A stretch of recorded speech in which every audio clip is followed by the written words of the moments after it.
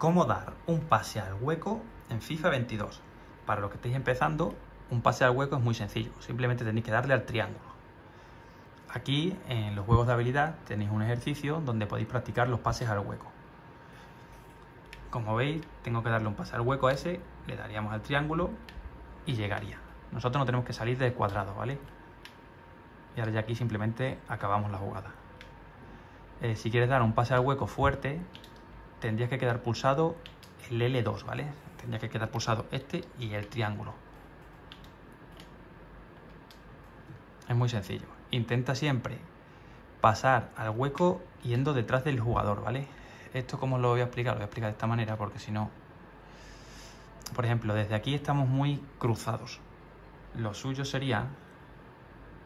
A ver si me deja otro intento, que esté como detrás del jugador, que yo esté por aquí porque le estoy cogiendo la espalda para que el defensa no lo corte. Por ejemplo, mira, desde aquí no podría cortarlo.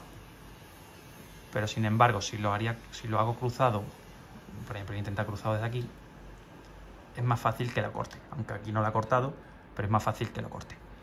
Si quieres ver más vídeos como este, bueno, aunque estos son para gente que está empezando en FIFA, también los tengo más avanzados, suscríbete al canal y déjame un me gusta. Hasta la próxima.